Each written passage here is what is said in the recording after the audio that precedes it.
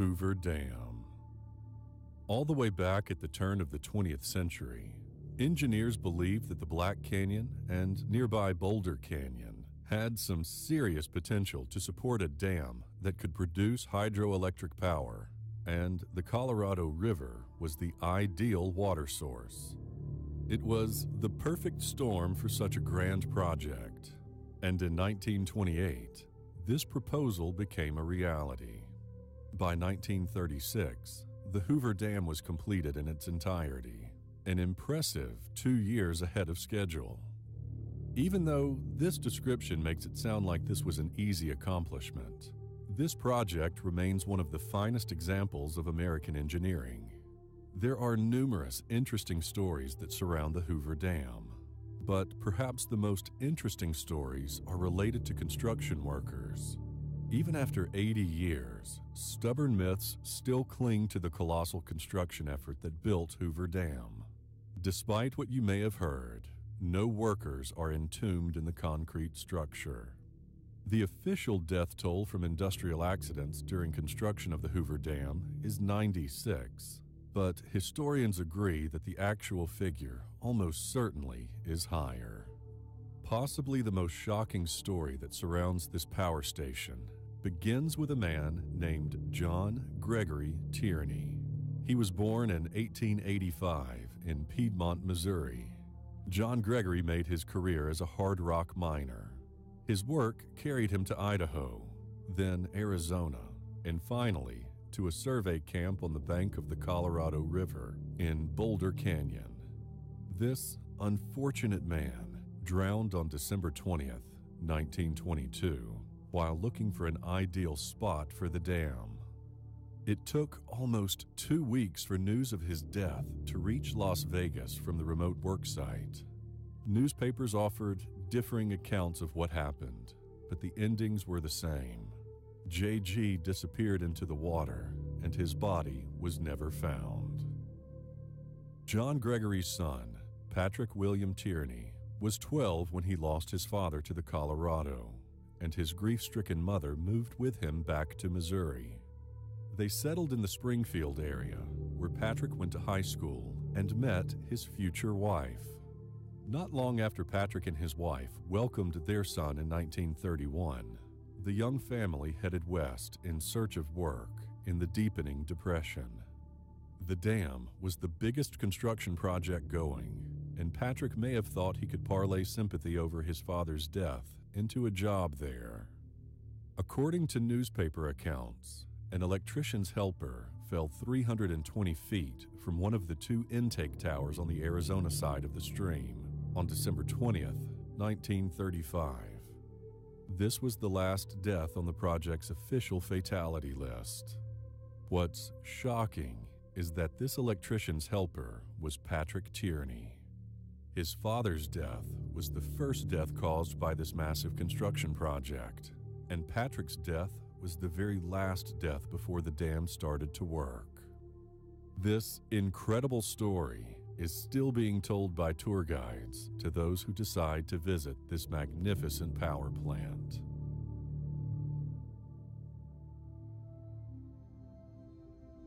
The Titanic. 14 years prior to Titanic's maiden voyage, in 1898, author Morgan Robertson wrote and published a novel called The Wreck of the Titan. The story features the ocean liner named Titan, which sinks in the North Atlantic after striking an iceberg. The Titan was described as the largest craft afloat and the greatest of the works of men, equal to that of a first class hotel, and, of course, unsinkable. From today's perspective, it seems like Robertson somehow predicted the rise and fall of Titanic. However, this historical coincidence is much more mysterious and intriguing than you can imagine. Although the novel was written before the Olympic class Titanic had even been designed, there are some remarkable similarities between the fictional and real life counterparts. Both ships were British owned steel vessels, both around 800 feet long, and sank after hitting an iceberg in the North Atlantic in April around midnight. Like the Titanic, The fictional ship sank in April in the North Atlantic, and there were not enough lifeboats for the passengers. There are also striking similarities between the size and life saving equipment. The latest technology was used in the building of the Titan, including the addition of 19 watertight compartments. With nine compartments flooded, the ship would still float, and as no known incident of the sea could possibly fill this many, the steamship Titan was considered practically unsinkable. Because Titan was considered unsinkable, she only carried the minimum number of lifeboats required by law 24, able to carry about 500 people. This was not enough for the 2,000 passengers on board. Morgan Robertson's Titan hit an iceberg in the North Atlantic Ocean and sank. 2,987 people died in the disaster. Morgan Robertson republished his novel after the sinking of the Titanic with some notable changes, suggesting that he was trying to cash in on the Titanic disaster. Nevertheless, the similarities between the Titan and Titanic are striking.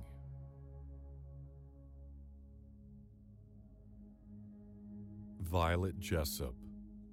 Occasionally, historical events are so anomalous that sometimes it seems impossible that they could be factual. Such is the case with Miss Violet Jessop, the 24 year old stewardess who was working on Titanic's maiden voyage.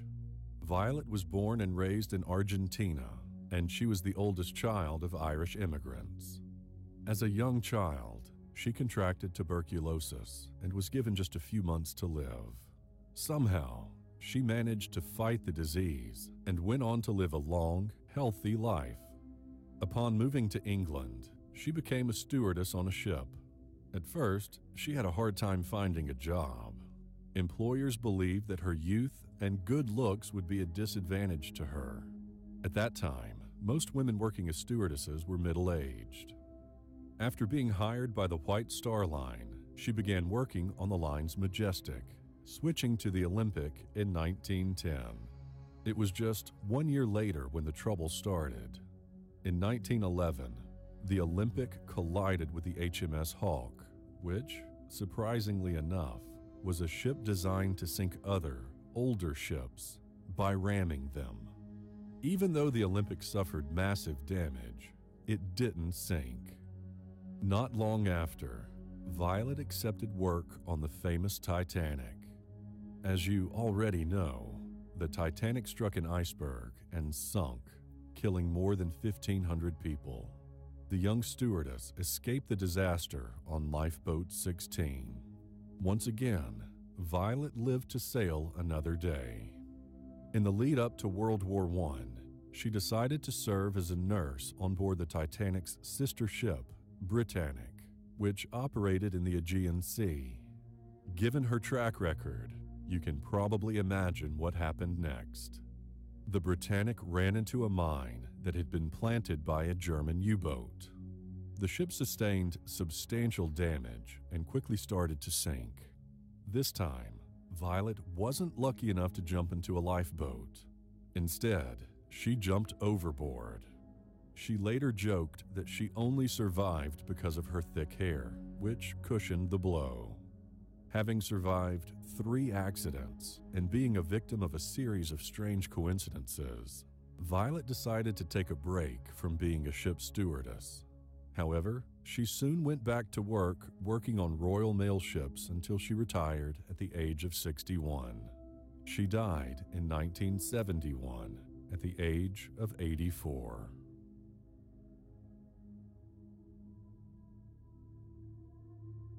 The Erdington Murders.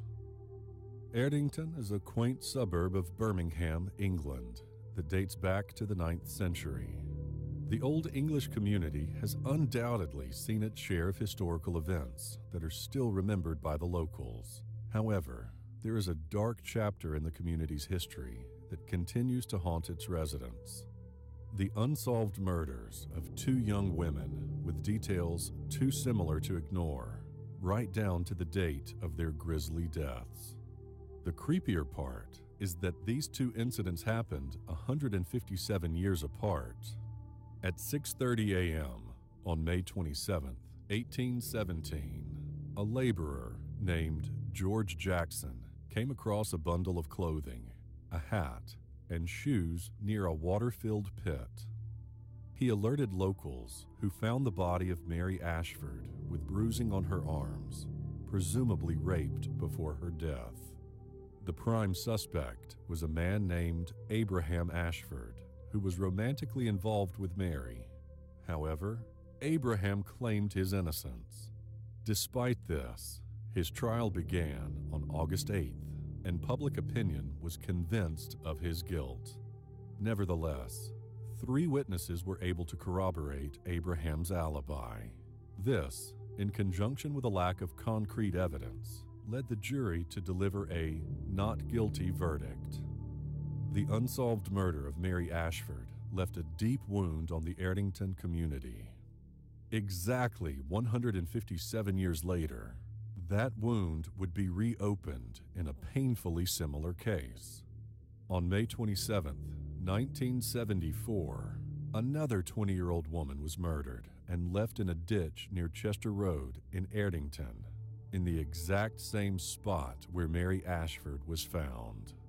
A young woman's body, which showed signs of rape and strangulation, was discovered a few days after death. This woman was identified as Barbara Forrest, and reports state that Barbara was with her boyfriend, Simon Belcher, on the evening of her death, dancing at several bars. Belcher said he walked her to the bus at 1 a.m., and that was the last time he saw her. A manhunt ensued involving over a hundred detectives, and once again, authorities zeroed in on a suspect named Michael Ian Thornton. The suspect was put on trial. However, the man was found not guilty due to a lack of evidence. Both murders remain unsolved to this day. Some view the parallels between the cases as mere coincidence, while others see them as signs of something sinister. One thing is for certain the people of Erdington continue to search for answers to these strangely similar cases.